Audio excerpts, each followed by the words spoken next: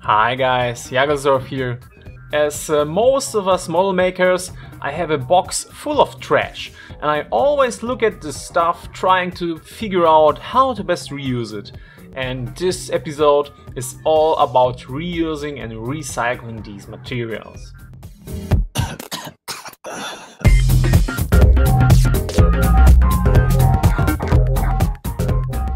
It was one of the seldom times when I decided to plan things out, at least a bit, although as usually I am only loosely sticking to the plan.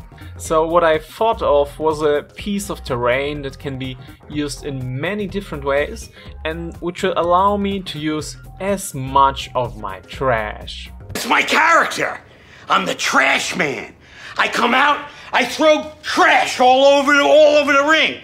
I plan a two-story structure with an astrolabe of sorts on top, an observatory or something. It's going to be decorated with various bits and bobs, including some pipes, ladders and random gears. I'm hoping to balance this steampunk look with some glowing runes to make it look more arcane or dwarven. So let's start right away. As I said, I intend it to be a trash challenge of sorts, so let's start with an object that inspired it all, the humble tape roll, or what's left of it. Um, it is going to make the main focal point of this build. The trick is to cut it into three bands of similar width. I start with measuring things out as if I knew how to count, um, but we all know what is really needed in a moment like that. My old trusty knife. Now in his very own big chest. So, the trick to cutting a band of regular width without measuring too much is to put your knife on the side and simply start cutting like that. If your knife is not of the width that you need for your band, simply put it on top on something to make it taller, to like a book or a small piece of wood. These bands are supposed to be made out of metal, uh, brass or something like that, so I clean up the edges with a knife and bevel them slightly to make some interesting textures for the later dry brush. This, however, still leaves this cheap paper with some fringes, but there's an easy method to get rid of them. Burn them with fire!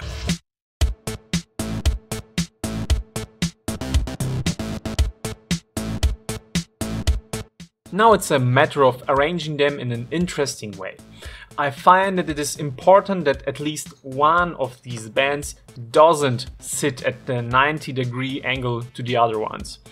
In a way, it looks less staged, more dynamic, as stupid as it sounds. Glue them together with uh, PVA glue, it's paper so it should bond very well and quite quickly without the need of any clamps. And that's how it looks uh, dry. Um, now we need a building to put uh, the piece on top of it. And for that we shall use my favorite recycled material, and namely corrugated cardboard. Sourced from your local Lidl, where it lies everywhere, just free, ready to be taken home, adopted into the right hands. To make things easier and quicker for myself, I forgo measuring again and simply cut a corner piece of a size that seems to fit the overall scale. I then use it to kind of measure out how big the second parts need to be. And I want this thing to have two levels, so I cut some of the cardboard on the other part in half.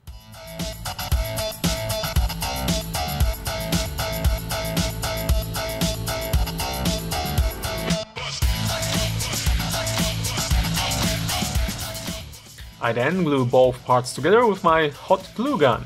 And by the way, this was the first tool and amongst the first things that I ever bought for myself after moving out, out of my parents' place.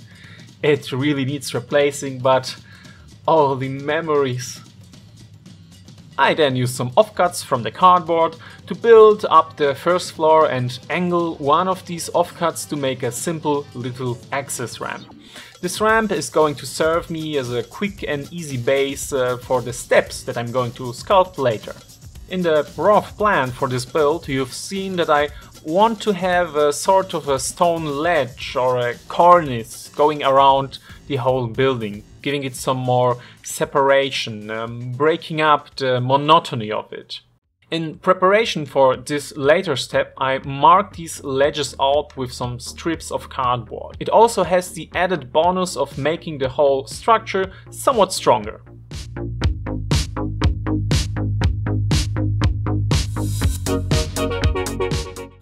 This point I also decided that I want to flip the design of my project a bit. Um, the walls themselves are going to be plain stone and the ledges are going to have these magic symbols on them. I achieved a stone look by plastering the cardboard with spackle. But really anything that spreads nice and has good texture could work just as well. You could use actual plaster for this or grout or texture paste or simply cover the walls in glue and fine sand or powder. Anything just to hide the cardboard and make the build more nice and sophisticated to the eye. I find it important to be able to adapt and recognize that something look good on paper or in your head, but it may not look as good in real life. Improvise, adapt, overcome. Just don't drink your own pee-pee or eat some weird bugs. That's just plain icky. I put the structure aside for a moment uh, to let it dry and turn my attention to the various uh, elements that will decorate it. And again I turn to my trash box of interesting stuffs. First I want to make a sort of plinth for the astrolabe to sit on. I found this part from a nose spray bottle and a cap from some resin mixing thing, I think. I then, using a drill and a knife, make a small hole in the bottom of the astrolabe uh, for the nose spray thing to sit in, and glue it uh, with superglue and soda, making a firm, strong bond. Then it gets attached to the bottom part in the same way.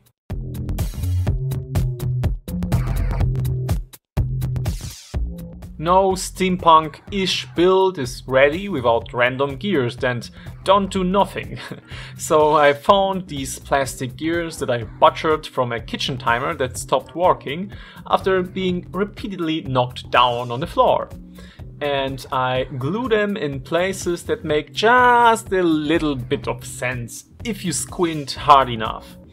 I again glue them with the same method, which has an added bonus of imitating rust very good, which fits very well uh, with this kinda abandoned, forgotten building look that I'm going for in most of my builds, and this one is no exception.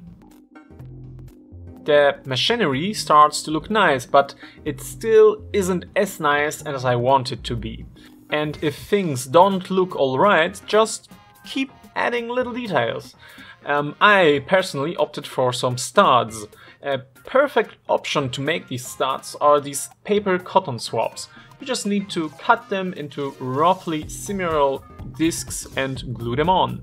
I fail massively on the roughly similar part, but hey, in model making terms there is no such thing as failure or mistake. We have character and uniqueness and handmade. So don't stress too much about things being perfect, just keep the train rolling. Going by this philosophy, I add some additional strips of cardboard to imply some more interesting structures and um, apply more of the soda glue mix for additional rust and additional texture. The centerpiece of this build is ready in no time and can be hot glued on top of the building. In the meantime, the spackle should have dried and we should be able to proceed on the walls.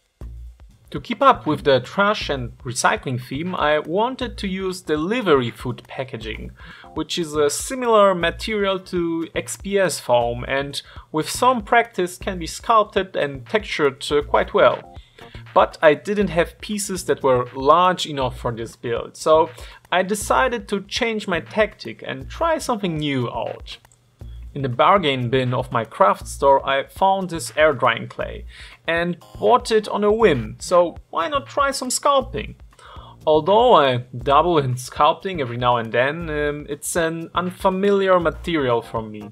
And um, although it's a fairly simple thing to make, um, it's good to take some time thinking it through. I first rolled out some strips of the clay and attached them to the previously marked out ledges. With the help of some PVA glue as they didn't want to hold on their own. After that, um, they needed some texture, so I used the safe old method of using a rolled up aluminum foil ball. You could also use a cool rock or anything that you think will leave some nice stony patterns. Then I marked out the separate stones with a spatula and give them some form with a silicone sculpting tool. If you don't own such a tool, don't worry. An old felt pen or a bamboo skewer will do just as well. If you want to get fancy, you can even make a tool like this with green stuff or similar sculpting putty.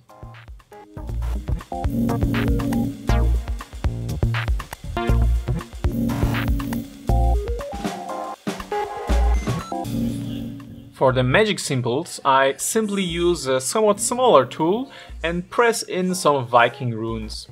Just keep your tool perpendicular and press the signs in. Something like a cut popsicle stick would also work perfectly fine here. Um, I should have added a hidden message of some sort in these uh, runes, um, but this idea dawned on me after it was all sculpted, so sadly there is no message. Or is there? Nah, there is no message. I repeat the process for all three ledges. The middle ledge also doubles as a small handrail on the gallery. I didn't do a handrail um, for the top level as I thought it would interfere with the game too much. With all that done, I quickly made the stair by first forming some cylinders and then giving them a triangular cross section and attaching them one by one to the ramp. I could uh, make them more miniature friendly, but this usually makes uh, the stair look very unnatural. I think I struck a good balance in this case. Um, it is possible to put a miniature on there, but not all of them. I quickly smooth out and fill in any parts that look bad with the spatula and the sculpting tool and then I sculpt the stones of the stairs in. I leave them with very little texture as frequently used steps tend to smooth out through the years. Now it's time to complete the build with more steampunk tat. I make a ladder with some old spruce connected by matchsticks.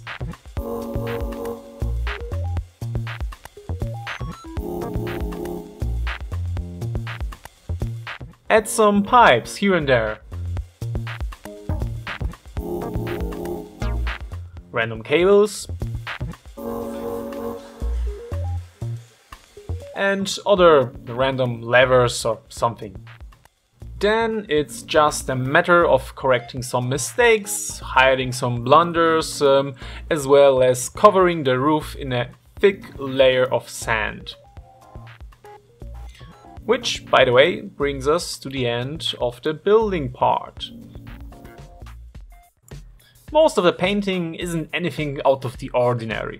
I start with a black prime spray, which was supposed to be matte, but it Obviously. isn't. I overbrush all the stone with anthracite grey, then I dry brush it with a very light grey, and for the last layer I mix in some white and brush from top to bottom to give it some basic highlights. While watching one of my hobby role models for inspiration, I covered the dirt roof in brown paint and while it's still wet I try to blend in a lighter and lighter yellow. At a first glance it didn't come out super cool, but a simple tan dry brush ties it all together very nicely. The metal parts get covered in the same brown paint as the dirt, as I find painting metallics on black very unsatisfying. Brown undercoat supplements copper and brass very well and gives the steel a hint of rust. I then apply a heavy dry brush of copper and steel metallic on the different parts in a way to make them look interesting and break up the monotony. Speaking of monotony, I really wanted to give some more color in this part of the build, so I painted this band blue. Right now the blue looks very lonesome, but no worries, it will get some blue friends. Then the most fun part of painting metal, making it look old. I apply the rust effect paint from Army Painter liberally, especially everywhere where elements touch and in places where water would run down. The copper slash brass parts I cover in a teal wash, trying to put it mostly in the recesses and take away all the excess. But after it dried out, it uh, took away the metal sheen from the copper, so I did a quick second dry brush on top. And now comes the next major step in this build, the wash. And it's major rarer than usual, because inspired by my terrain building gurus, I bought some oil paints and mixed up some oil washes. And I tell you guys, it is really magical. It's really pure magic. It takes a week to dry, but it flows perfectly and is so straightforward and consistent to make yourself. I can't recommend it enough. But the observatory still looked very drab and monotone, so to break it up and give it more color, I decided to make the runes glow. It's a very easy if somewhat time consuming process. First I fill in all the runes with a basic blue.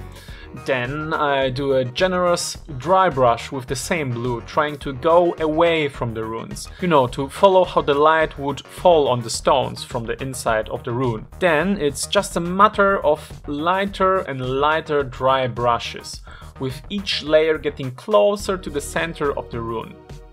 And as a final step uh, for the glow effect, I put a dash of light blue into the center of each rune. Et voila! Here we have it.